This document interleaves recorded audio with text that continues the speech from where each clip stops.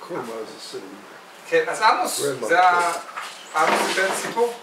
טוב, אני, אני אגיד לכם, הייתה איזה, לא תקלה, אני חשבתי שיש לי חבר טוב, קוראים לו אלכס נימברג, הוא כימאי, הוא שכן שלי, והוא מתייחס אליי כמו אבא שלו, מפני שהוא אה, נולד גם כן לא רחוק ממני באונגווה, רוז'ורות, אשתו ממונקאץ', והוא אדם אה, שנולד אחרי מלחמת העולם השנייה והוא מסורתי, מה שנקרא, כן?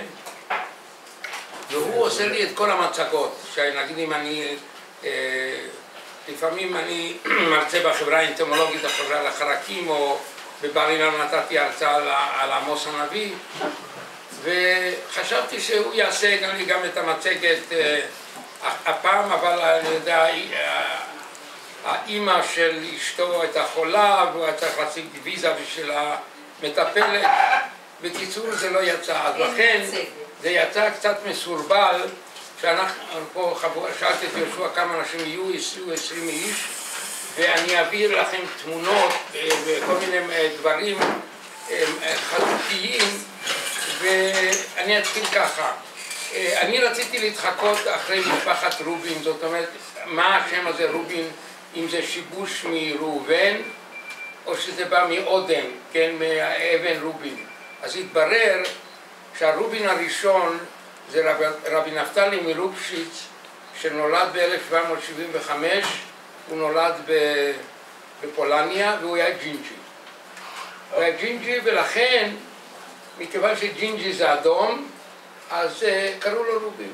הוא הרובין הראשון ואם אתם תסתכלו למשל, יש אנציקלופדיה, אה, יש אנציקלופדיה לחכמי גליציה, ארבע כרכים, יש שם על כל השמות, אז אתם יכולים, אני מעביר לכם את, אה, את, את הדף הזה, יש פה על רובין, אז הראשון, רבי אליעזר ליטמן, אה, זה ורבי אשר ישעיהו מרובשין, מה שמעניין שיש שמות שהולכים כל הזמן.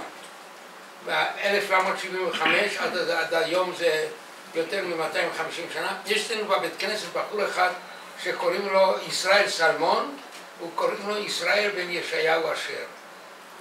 זה האבא שלו. וגם הבן שלו קוראים לו ישעיהו אשר. וגם ישעיהו אשר אתם תראו פה בגנאולוגיה הזאת של רובין, זה שם מאוד נפוץ, אז גם רבי אשר ישעיהו מרופשיץ. זה גם כן אה, אשר ישעיהו. וגם השמות האלה, נפתלי, אליהו, שלמה, אברהם אבא, זה הכל עובד. וזה פה של, ה, אה, של אה, מהחכמי גליציה, אבל מה שאני רוצה להגיד שבעצם רבי אברהם אבא רובין, הסבא שלי, עליו על השלום, הוא נולד בכפר קטן בשם אוברוצ'נה בסלובקיה על גבול פולניה. בכפר הזה קרים היום נגיד לא יותר מאשר איזה 80 או 100 איש. ובזמנו היו גרים שם, יש פנקס קהילות סלובקיה זה כדאי לכם לרכוש את זה, זה דבר מאוד מעניין. ושם כתוב על הכפר הזה שהיו שם אולי אה, במשך ה-200 שנה האחרונות לא יותר מ...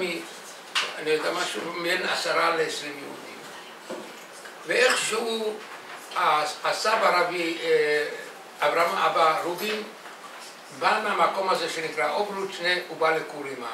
והוא התחתן עם הסבתא שלי שקראו לה רישה קריינד זוננשיין והוא קבע את מושבו, הוא נולד ב-1856 אני אה, השתדלתי עם האדם שכתב את הפנקס קהילות סלובקיה כרגע ברח לי השם, אבל השתדלתי, הוא כתב מכתב ליושב ראש הכפר, מתברר שהכפר הוא כל כך קטן, שאפילו אין לי שום תושבים אלא בכפר יותר גדול. רציתי לקבל תעודת לידה, זה אפשרי. משלמים כמה דולרים, אם הכל הולך איתם בדולרים, אז אני מקווה שאני אוכל להשיג את התעודת לידה. של אברהם אבא? אברהם אבא.